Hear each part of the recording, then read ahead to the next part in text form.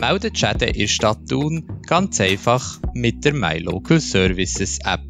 Öffnet dazu die App und tippt auf Meldungen. Zum Melden von einem Schaden tippt ihr auf Meldung erfassen. Jetzt noch die passende Kategorie anwählen und zum besseren Beschreiben vom Schaden optional ein Foto beilegen.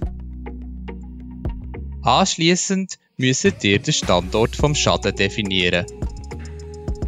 Zum Schluss nur noch kurz das Problem beschreiben und für Rückfragen eure E-Mail-Adresse angeben. Der gemeldete Schaden wird zeitnah in der App aufgeschaltet und von der zuständigen Stelle behoben. My Local Services, die smarte City App von Stadt Thun. Jetzt gratis abladen.